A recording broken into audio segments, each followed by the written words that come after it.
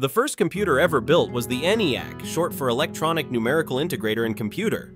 Developed in the 1940s, it was a massive machine occupying about 1,800 square feet and weighing nearly 30 tons. Imagine that! ENIAC was designed to perform complex calculations for the military, particularly for artillery trajectory tables. What's fascinating is that it used over 17,000 vacuum tubes, which were essential for its operation but also made it incredibly power-hungry and prone to failures. Despite its size and quirks, ENIAC could perform thousands of calculations per second, a groundbreaking feat at the time. It was programmed using plug boards and switches, a far cry from the user-friendly interfaces we have today. The first program ever run on ENIAC was a calculation for the hydrogen bomb, showcasing its potential for both scientific advancement and military applications.